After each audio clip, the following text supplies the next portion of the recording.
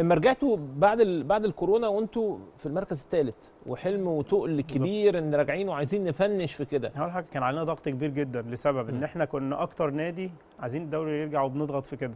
الناس كلها كانت بتهاجمنا إحنا. يعني مش عارف ليه. يعني إحنا حابين نلعب عشان إحنا الحمد لله كنا تاني الدوري. صح. يعني رجعنا بعد كورونا تاني الدوري. كل واللعيبة كلها عندها حق. أنا عايز أقول لك. إن كل أندية الدوري كانت قاعدة في البيت.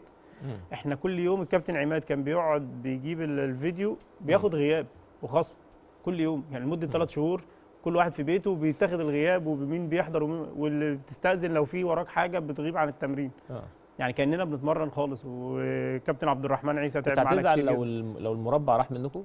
أنا كنت بالنسبة لي صدمة أكتر إن أنا خسرت الدوري في الزمالك مثلا ياه تعب تعب مش طبيعي يعني التعب في الزمالك غير تعب في أندية تانية يعني في, آه. في الزمالك أنت عارف ممكن بتلعب فريق كبير فبتكسب كتير عادي خالص. لكن المقاولين لما بعمل معاه إنجاز كده فانا من عربت في الآخر على نقطة. آه طبعا.